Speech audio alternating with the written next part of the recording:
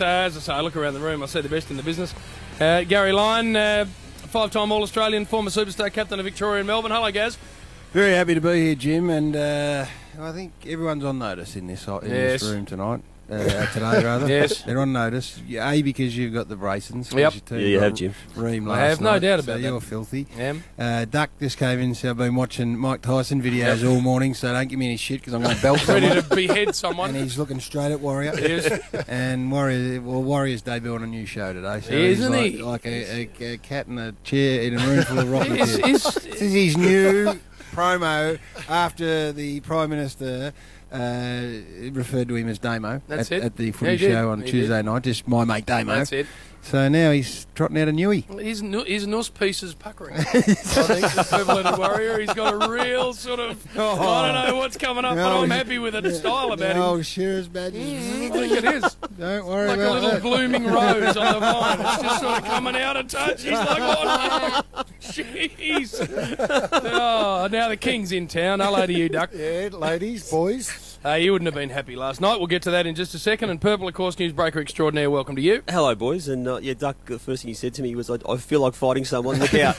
Yeah, that's it. Well, we know that's coming up, and, and that's good. What is it called? Like, come on. Yeah, well, that's the thing. Purple's got his new microphone- Your microphone mightn't have been working, Jim. So let's back over this. Yes. The Warrior has just uh, elevated himself to the position now where he's on a nickname basis with Tone. Yeah. Tone Abbott. Yep. uh, who called him Damo during the week, and Yes. now he has he's debuting a new show.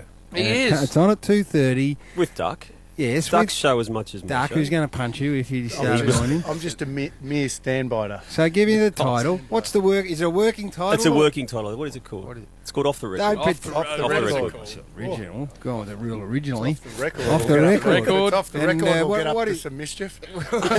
Duck's already enjoying it. what is a? Give us a synopsis because we've No, got I a massive people- audience sitting here who are fascinated at the fact that you're now headlining your own show. I think wait till 2.30 and you'll Oh, get a, a tease. jam-packed Tease. four Jam-packed? segments of Oh.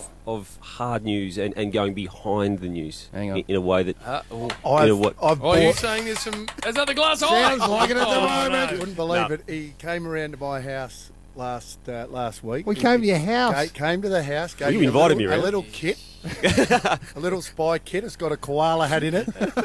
it's got uh, you, it's got the equipment that you you can sneak into a bin. So we're, we're going behind behind So the have you been out on, on I've- location I've been on location. Oh, no. koala.